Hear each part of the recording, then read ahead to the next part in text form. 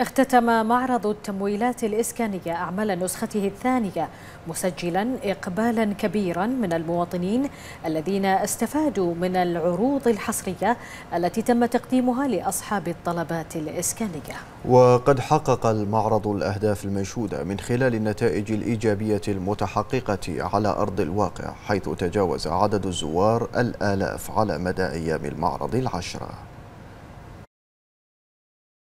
شهد معرض التمويلات الإسكانية 2023 في نسخته الثانية إقبالا كبيرا منذ انطلاقته في الخامس عشر من الشهر الجاري حيث استمر لعشرة أيام متواصلة.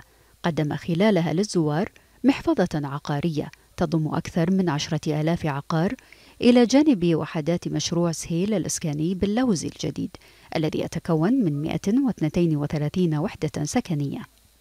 جمعت وزارة الإسكان والتخطيط العمراني في هذا المعرض 19 شركة عقارية. قدمت منتجاتها من الشقق والفلل والقسائم بالإضافة إلى ثمانية بنوك تجارية التي عرضت على المواطنين الخدمات التمويلية التي تعينهم على امتلاك وحداتهم السكنية والتسهيل عليهم لأخذ قراراتهم والاستفادة من العقارات الموجودة والحوالات التمويلية الفورية.